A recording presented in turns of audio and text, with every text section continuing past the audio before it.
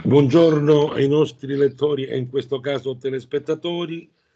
Ancora una volta parliamo, parliamo di un fatto assolutamente eh, disgustoso che ha colpito la nostra amata e martoriata Sicilia. Il fatto di sangue avvenuto a Mascalugia, ne vogliamo discutere un attimino con un personaggio che certamente non ha bisogno di presentazione, la criminologa, psicologa forense, opinionista, ma io aggiungerei anche cantante, ma non è il caso in questo momento, Roberta Bruzzone.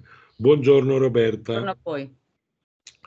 Allora Roberta, che succede nella mente di questa donna, di questa mamma che va a scuola a prendere la propria figlia e un'ora dopo compie quel gesto insano?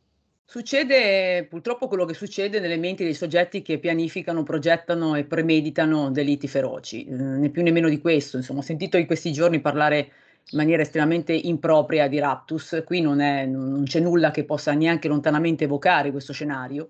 C'è una donna che progetta in maniera lucida tutto quanto, che quando va a prendere la figlia all'asilo, abbiamo visto tutte le immagini no? di questa bimba che le corre incontro, felice, e lei che la, abbraccia e la bacia, in realtà ha già deciso di ucciderla e in quel momento lei ha già scavato la fossa destinata a eh, ricevere il corpicino straziato di questa bimba, che la colpisce alle spalle, peraltro, reiteratamente, con delle ferite da punta e taglio, che non, non, non, non, le risparmia nulla sostanzialmente e che ha già deciso di inscenare, ancora già quando va a prenderla a scuola, ha già deciso di inscenare il presunto rapimento perché la volontà è quella di farla franca, tra parentesi, e chiaramente quella di eh, attribuire la, insomma, il reato, la, l'aggressione a soggetti terzi sconosciuti.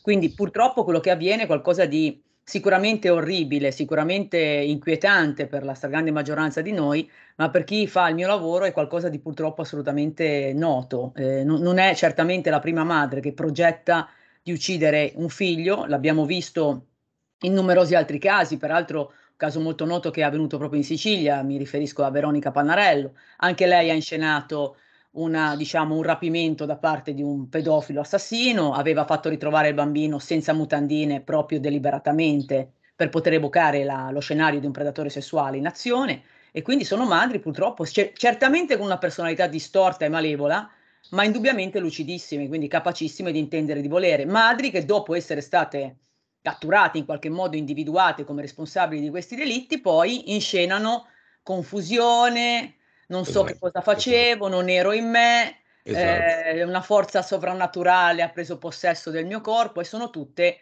estensioni sì, ma... della manipolazione di questi soggetti, perché l'unica cosa di sovrannaturale è la loro capacità di mentire, insomma, esatto, l'unica cosa che possiamo appunto, considerare, diciamo, estremamente poderosa. E questo fa parte della signora, ma c'è l'avvocato il suo avvocato che dice la mia cliente è stata spinta da una forza naturale. Allora, non sappiamo se ridere o piangere. Ripeto, io non commento affermazioni di questo genere che sono prive di qualsivoglia pregio dal punto di vista insomma, forense, tantomeno di, di natura psicologica. Non c'è nessuna forza sovrannaturale che spinge le persone a progettare delitti e direi che se un avvocato a, a evocare questo scenario sia sufficientemente anomalo, insomma, perché insomma, sappiamo bene che non serve evocare forze sovrannaturali, che tutti i giorni la cronaca giudiziaria ci restituisce storie di delitti atroci che sono purtroppo estremamente compatibili con la natura umana, non c'è bisogno di evocare in maniera assai fantasiosa e discutibile componenti di altro genere, insomma.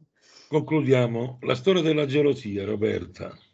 È un mix qui, secondo me, di invidia e gelosia, non è soltanto un problema Ma di gelosia. può esistere eh, questo sì, davvero? Certo, uno scenario di una personalità profondamente immatura, probabilmente con tratti disfunzionali, mi parrebbe di capire da quello che ho sentito nelle interviste della suocera, citiamo della, della nonna paterna e della zia paterna, un soggetto con dei tratti di personalità di, di area narcisistico borderline, quindi molto, molto concentrata su di sé, molto, diciamo, concentrata a controllare la vita degli altri, ossessionata dall'idea di essere messa da parte.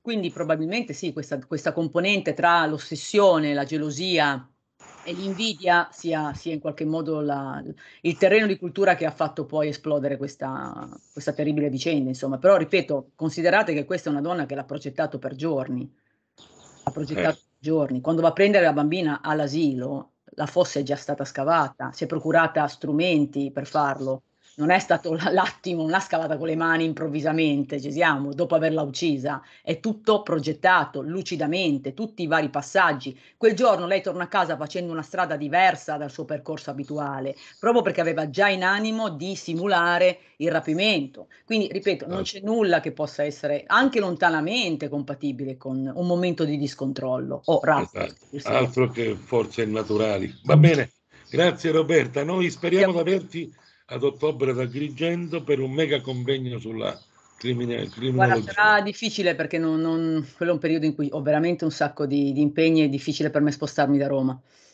In questo momento è così. Ben, sì. Benissimo. Grazie, grazie per la preziosa testimonianza. Grazie a voi. Buon lavoro, grazie, ciao. buona giornata.